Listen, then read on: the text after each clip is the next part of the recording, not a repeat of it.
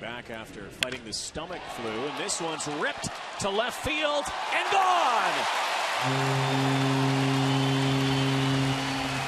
That'll make you feel better.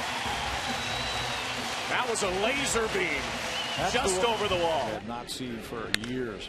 Aaron Hill tags one. Bye bye, baseball. Bye bye.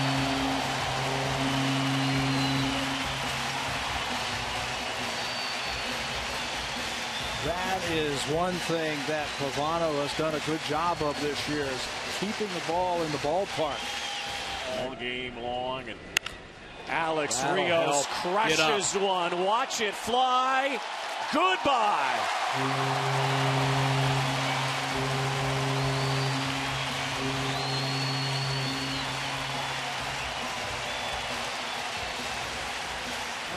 He finds himself behind by two.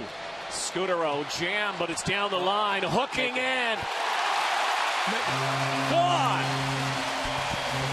Four hits, four home runs. And I'm not so sure he got all of that. Somehow he got an 0-2 pitch up and in, and he's able to get the fat head of the bat on the ball. 1-1 pitch. Scutaro again. Long fly ball to the wall and out. How about that?